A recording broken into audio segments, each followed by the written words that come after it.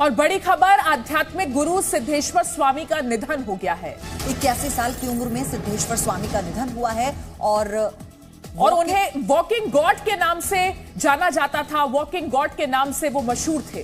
सिद्धेश्वर स्वामी के निधन पर पीएम मोदी ने दुख भी जताया। ज्ञान योगाश्रम के संत सिद्धेश्वर स्वामी का निधन ये बड़ी खबर जिस पर प्रधानमंत्री नरेंद्र मोदी ने भी दुख जताया है।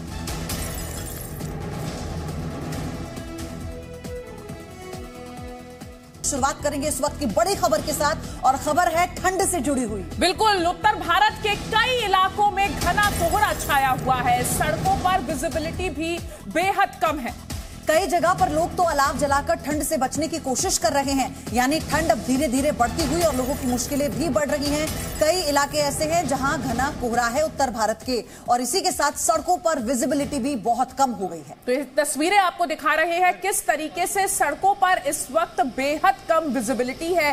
पूरा उत्तर भारत इस वक्त शीतलहर की चपेट में है। लोगों के लिए अपने घरों से बाहर निकलना मुश्किल हो गया है। जिन लोगों को काम के लिए घर से निकलना पड़ रहा है उनके लिए सड़कों पर गाड़ी चलाना मुश्किल है।